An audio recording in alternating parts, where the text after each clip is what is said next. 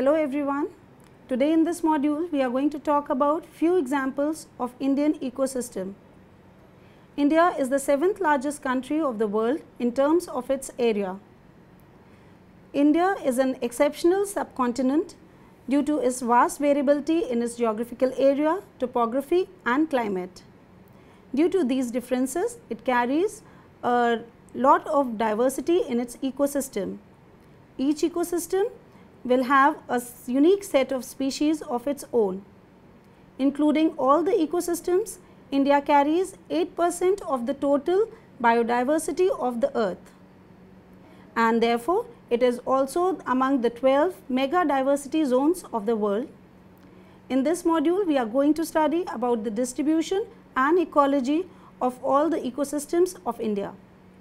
The learning objectives of this module are vegetation types of India, forest and grassland types, analysis of aquatic ecosystems, assessment of zonation in aquatic ecosystems. The total forest cover in India is 78.92 million hectare which is 24.01 percent of the total geographical area of the country. It is less than the recommended forest cover at least one third of the total geographical area of the country.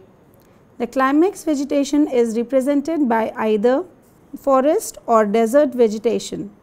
Primarily on the basis of temperature, Indian vegetation is characterized in four major zones. For example, alpine means annual temperature is below 7 degree centigrade. Second is the temperate where mean annual temperature lies between 7 to 17 degrees centigrade. The third is subtropical where the mean annual temperature ranges from 17 to 24 degrees centigrade and the fourth one is the tropical where the annual temperature is over 24 degrees centigrade. Champion and Seth characterize the Indian forest into five major categories. First is the tropical, then montane subtropical, montane temperate, subalpine and alpine. Due to difference in annual temperature, rainfall and dry periods among the forests, the forest types are further divided into subtypes or groups. Thus, India has a total of 16 forest vegetation types which are shown in the slide. The forest types of India showing mean annual minimum and maximum temperature, rainfall, dry periods, distribution and their major species are shown in the slide. A brief description on the 16 forest types in India as described by Champion and Seth in 1968 are given below. First one is as follows that is the tropical wet evergreen forest. These forests are similar to tropical rainforest dominated by evergreen trees with close canopy. Evergreen trees are the climax vegetation. Number of species per hectare has been estimated in a range of 40 to 100. The next is the tropical semi-evergreen forest. These forests experience rainfall in between 2000 to 2500 millimeter. Such forests are occurring in Assam, Lushai, Kalimpong and Orissa hills. In these forests, top stories are dominated by the deciduous species while middle and lower stories are dominated by the evergreen species. Tropical moist deciduous forest. These forests are also dominated by the deciduous species. Understory is predominated by the evergreen species. The height of trees varies from 30 to 40 meter. Rainfall occurs around 1200 to 2500 millimeter. Next is the littoral and swamp forest. Such forests are found in coastal regions of West Bengal, Odisha, Andhra Pradesh, Tamil Nadu and Gujarat. The species are mainly evergreen composed of mangrove and freshwater swamp forests. Tropical dry deciduous forest. The temperate and rainfall are major determinant factors for the distribution of these forests. The rainfall varies in the range of 800 to 1200 millimeter. Next is the tropical thorn forest. These forests are also known as xeric forest due to occurrence of very less rainfall which lies in the range of 200 to 800 millimeter. The dry region is very long. Maharashtra, Andhra Pradesh, Karnataka, Tamil Nadu, Madhya Pradesh, Uttar Pradesh, Rajasthan, Gujarat and Punjab are common areas for the occurrence of these forests. Tropical dry evergreen forests. Occurrence of rainfall in these forests lies between 870 and 1200 millimeter. They are found on the eastern coast of Chennai. Trees are mainly hard-leaved evergreen type having nearly 20 meter height. Next is the subtropical broad-leaved hill forest. The vegetation is composed of mainly broad-leaved and evergreen with high forest trees. Such forests are usually seen on western and central Himalayas and on the hills of South India. Himalayan dry temperate forests. Basically, they are the open forest with trees having 50 meter heights. These forests are found along inner valleys of Himalayas, experiencing less than 1000 millimeter of rainfall. The predominant trees are coniferous species. Subalpine forests. These forests occur in the regions of Jammu and Kashmir, Punjab, Himachal Pradesh, Uttarakhand, West Bengal and North East at altitude of 2900 to 3500 meter. Temperature and precipitation in these forests are very poor. Subtropical pine forests. These forests mainly occur on hills and largely pine forests extend in the western and central Himalayas between 1000 to 2000 meter. Next is the subtropical dry evergreen forest. They are low xerophytic scrubs and open forest. They are dominated by acacia, olea, dodonaea and many hardwood species. Montane wet temperate forest. They are broad-leaved and closed evergreen forest without conifers. The development of buttress does not occur. Lianas and epiphytes are fewer with thinner stems of lianas.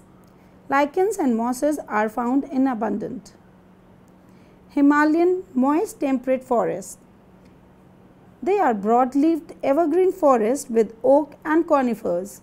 In general, these forests occur all along Himalaya at 1500 to 3300 meter altitude in the regions of Jammu Kashmir, Punjab, Himachal Pradesh, Uttarakhand, West Bengal, Assam and eastern Himalayas. The height of trees is up to 50 meter moist alpine scrub. They occur throughout the Himalayas above timberline to 5500 meter altitude, particularly in the regions of Kashmir, Uttarakhand, Sikkim, Manipur, western and eastern Himalayas. Dry alpine forest. The forests are alpine xerophytic, occur in very low rainfall that is around 370 millimeter areas at up to 5500 meter altitude in the regions of Himachal Pradesh, Kashmir and Uttarakhand. All the above forest types are experiencing unpredictable anthropogenic activities. Among them, the dry deciduous forests are the most threatened. Hence, the situation is more alarming for such grasslands. Because of high anthropogenic pressure in the past several decades, the dry deciduous forest cover is being converted into dry deciduous scrub, dry savanna and dry grasslands which are progressively species poor. Now, we will be talking about the grasslands. Natural grasslands are formed in areas having erratic and low annual precipitation just suitable for the growth of grasses. Such low precipitation and occurrence of fire do not support the tree growth. The annual precipitation between 250 to 300 millimeter in temperate zone and up to 1500 millimeter in tropical zone support the luxuriant growth of grasslands. In India, grasslands occupy about 18 percent of the total land area and are very heterogeneous in their distribution due to variability in climatic conditions, soil and disturbance regimes. The grasses have greater tolerance to extreme of temperature that is greater aridity, greater cold and wetter places than the trees. Further, the ecotypic differentiation and phenotypic plasticity facilitates many grasses to survive under extreme environments. The ecological status of Indian grasslands is debatable due to the climax vegetation viewpoint which would be either forest or desert vegetation. Grasslands are existing because of the biotic interference, burning, shifting, cultivation and grazing of forests for the last several thousand years. Long-term agricultural practices converted majority of grasslands into agroclimax. In India, it is very painful to find virgin grassland. The Indian tropical grasslands are frequently scattered and are known as savanna. In this slide, we can see the distribution of major grasslands in India. Whyte in 1957 classified Indian grasslands into 8 types. These grasslands briefly describes and are indicated in this slide. First one goes like Sehima dichanthium type of grasslands. The second is dichanthium cenchrus grasslands. Third is Phragmites saccharum dominates in marshy locations. The fourth is Bothriochloa grasslands. Fifth is Cymbopogon grasslands. Sixth is Arundinella grasslands. Seventh is Deyeuxia arundinella type of grassland. The eighth is Deschampsia deyeuxia type of grassland. Aquatic ecosystems. It is amazing that only 3 percent of the total water on earth is represented as fresh water and remaining 97 is as salt water. Further, it is again interesting that river and lakes cumulatively contain only 1 percent of the total fresh water and rest 99 percent is present in form of frozen ice glaciers and underground. Aquatic ecosystems are the most valued life sustaining water resources. Throughout the world, there are most productive and potential source of carbon sequestration, the strength of wetlands distributed in different states and union territories of India are shown in the figure. This indicated that the Gujarat has highest wetland coverage while the least coverage is represented by Chandigarh. The freshwater ecosystems have been divided into two major categories that is the first one is the standing water or lentic ecosystems which comprises of lakes and ponds the second one is the flowing water or lotic ecosystems which comprises of river streams and springs.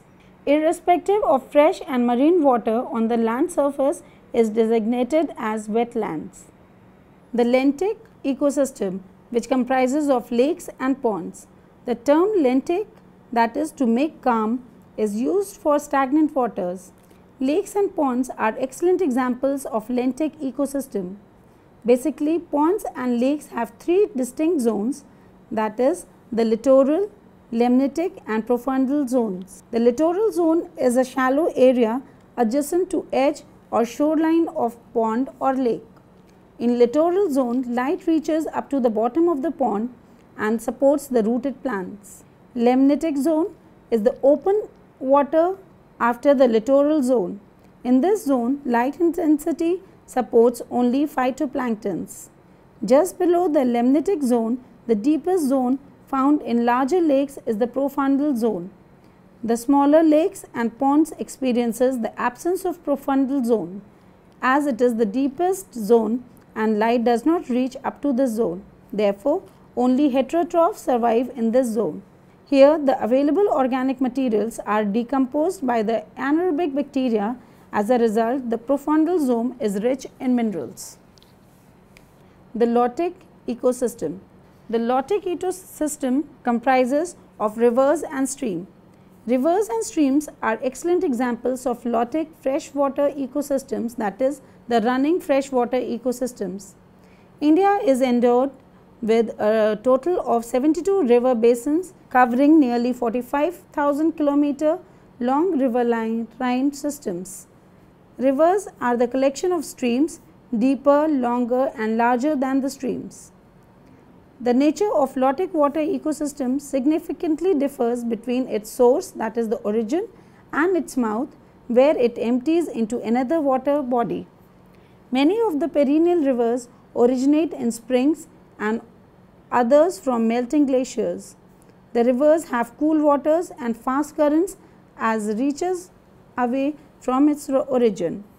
Lotic ecosystems exchange nutrients and energy at larger areas compared to lentic ecosystems. These attributes are prevalent in rivers than the streams. Presence of currents and absence of thermal stratification in lotic ecosystem discriminate them from lentic ecosystem. The organism of lotic water ecosystems vary largely from one lotic ecosystem to another due to differences in the strength of the currents. Headwater streams are typically shallow, cool, rapidly flowing and oxygen rich compared to downstreams because downstreams are wider, deeper, cloudy, not as cool, slower flowing and less oxygenated. These conditions the species differentiate in composition between rivers and streams as well as between head streams and downstreams. For example, in low current and deeper water areas, sand and silt deposition takes place on the bottom of lotic ecosystem. In such zone, burrowing animals, rooter plants and swimming organisms flourish and survive. However, plankton occur only in those zones where water is deep and the current is gentle.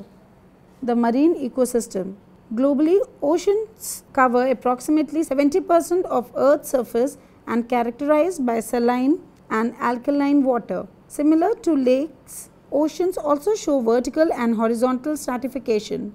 Holistically, ocean is divided into two major regions that is pelagic region that is the whole water body and benthic region that is the bottom of the oceans. Graphically, ocean zones are presented in the slide and for better understanding the vertical and horizontal strata of the ocean can also be understood.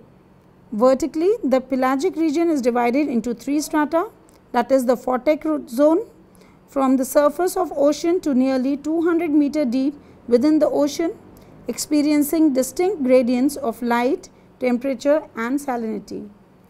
The next is the mesopelagic zone from 200 meter to 1000 meter deep.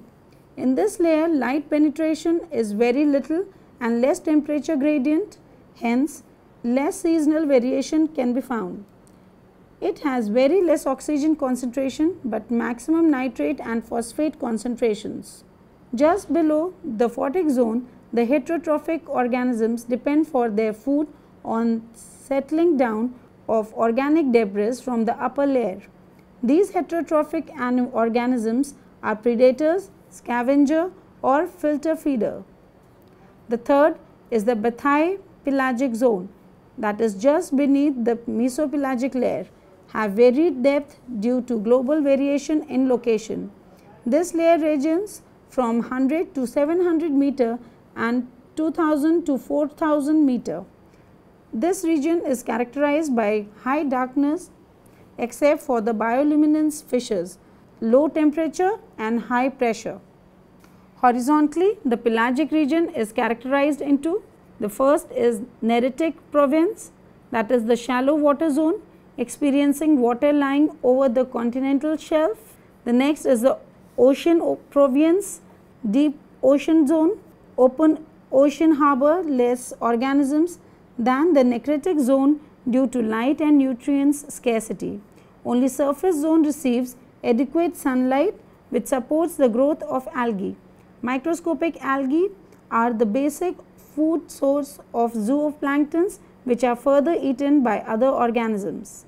And the third is a abyssal pelagic or benthipelagic province which lies over the major plains of the ocean down to about 6000 meter. The ocean bottom is known as benthic region. It is divided into four distinct zones having differences in the bottom life. First is the sublittoral or shelf zone just lying below the neritic pelagic zone and above the continental shelf. The margin of the ocean or the intertidal zone is recognized as littoral. Next is the bathyal zone which covers the continental shelves and down to 400 meter. Third is the abyssal zone which occupies the broad ocean plains below the 6000 meter. The abyssal plain of the oceans has undulating topography and exhibits high species diversity. The fourth is a Hadal zone or the benthic zone of oceanic trenches between 6000 to 10,000 meter. It is the deepest place on earth's plunge as deep as 11,000 meters below the surface of the sea. The water depth, distance from the shore and drainage of river and glacier into the ocean determine structure and function of the ocean ecosystem. Mangrove is word used for a group of halophytic plant species or plant communities dominated by salt tolerant plant species. Such ecosystems occur in intertidal zones of sheltered shores, estuaries, creeks, lagoons, marshes and mud flats along the coastline. Mangroves are formed due to absence of wave actions along the coast. In India, mangroves are found along the islands, major deltas, estuaries and blackwaters of the east coast. Mangroves occupy 4628 square kilometer area of earth or 0.14 percent of the total geographical area of the country. Sundarbans and Mahanadi, Krishna and Godavari mangroves of Andhra Pradesh and Muthupet and Pichavaram mangroves of Tamil Nadu, Gulf of Kutch and Khambhat mangroves of Gujarat and Andaman and Nicobar island mangroves are in India. The Sundarbans in West Bengal covers nearly half of the total area under mangroves. The Indian mangroves are homes of many endangered species of crocodiles, snakes, tigers and birds. Biotic pressure and natural calamities are threatening the species as well as ecosystems of mangroves. Hence, conservation and management of mangroves is needed for humans as well as ecological well-being. Sundarbans The Sundarban is one of the longest mangrove forests of the world. It is situated in the delta of Ganges, Brahmaputra and Meghna rivers covering an area of nearly 16,000 kilometers square. Interestingly, 60 percent of this is in Bangladesh and only 40 percent is in India. It experiences a warm humid climate and annual rainfall between 1600 to 1800 millimeter. The rainfall is received from June to October during the southwest monsoon. The fresh water of the Sundarban is supplied by the Ganges and Brahmaputra throughout the year. That is why the salinity of the Sundarban is lower than the sea water. The Sundarban's delta is rich in flora and fauna. It is the home of large number of invertebrates, insects, fishes, mollusks, crustaceans, monkeys and reptiles and is the only habitat for the endangered Royal Bengal tiger. Sea grasses Plants completely submerged in salty water of the ocean are known as sea grasses.